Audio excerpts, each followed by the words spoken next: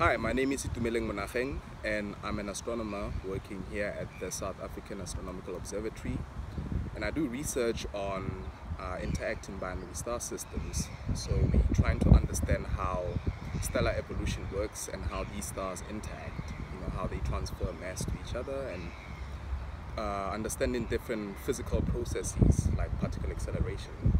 So we do this by using different telescopes um, around the world so we study them at multi-wavelengths.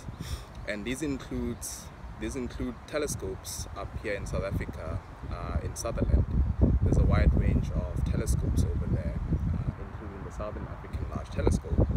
So I've actually been privileged enough to use some of these and analyze the data from, from these.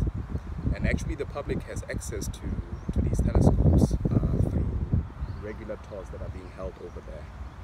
So I fell in love with astronomy because um, I was a curious kid and um, I was actually happy to know that I can actually take this on as a career.